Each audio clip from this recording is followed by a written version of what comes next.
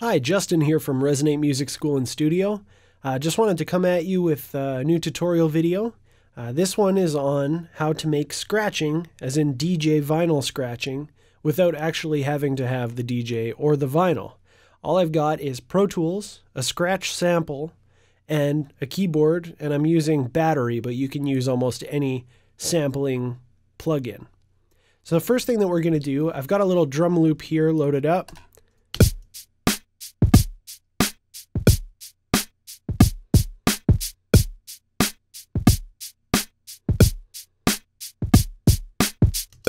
So we've got that rocking. Um, and the first thing we're going to do is make a stereo instrument track. I'm going to call this Scratch. And I'm going to put battery on it.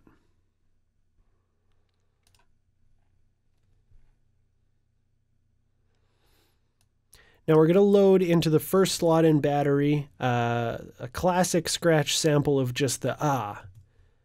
So take that, drop it in there. So it's a pretty pretty classic sample you'll find on most scratch records. And the next thing we're going to do is we're going to change the velocity to volume knob here down to zero. And what that's going to do is it's going to make it so no matter how soft or how hard I hit it, it's always going to be the same. Um, the next thing we're going to do is change the modulation. And what I want to do here is set it so that my pitch bend wheel, so I'm going to choose uh, pitch bend. So I want that to affect the tuning. So that's going to basically make this knob go up and down. I'm going to set that to about 75%. And then when I play it, I can now change it. And I can change it on the fly. Over and over and over again. Um, next thing we got is we're going to copy this twice. So I'm going to copy this to the second one and the third one. So I'm just holding down Option um, or Alt if you're on a on a PC, um, and then dragging over, and you're going to copy that over to the next patch or to the next uh, next sample spot. So basically, I've got three different versions, and currently they're set up to be on C, C sharp, and D. Now what we're going to use these for is I'm going to go to the second one and what I want to do is reverse it and I want to make it shorter. So this is going to be emulating an actual scratch where you would be pushing the pushing the sample forward, that will be the first one, and pushing the sample backwards will be the second one. So Okay, and what we want is so that it actually stops when I stop hitting the key.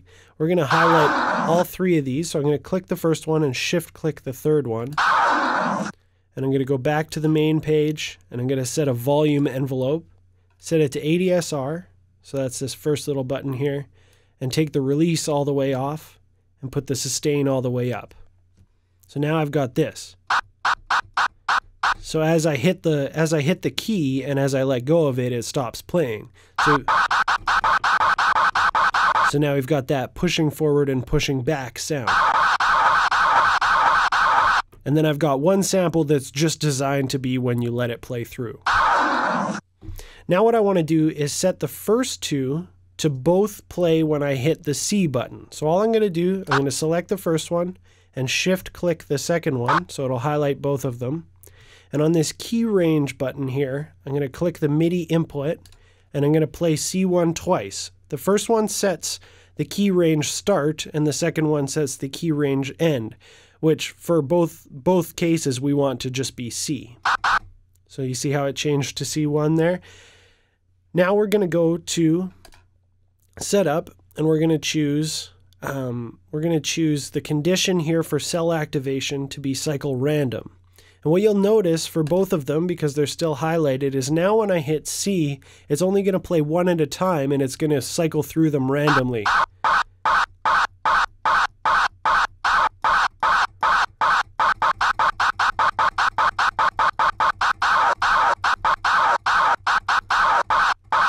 Right, so now I've got kind of back and forth here and there, and it'll play a bunch in a row of the same one, so it's totally random.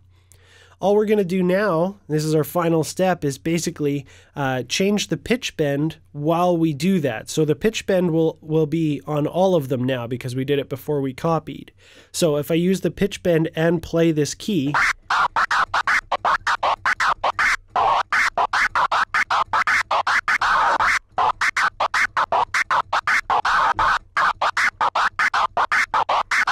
So now I've got my scratch sound. And if we play this a little bit, get rid of battery, and we can record.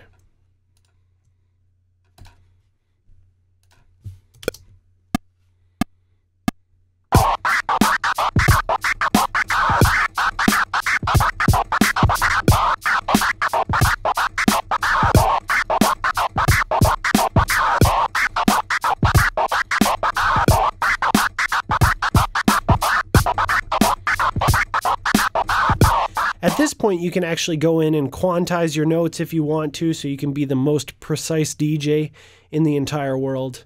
Um, and this is this is a really fun tool and really cool if you're not a DJ and you really want to get some quick scratching sounds, even if it's just for demos or for an idea.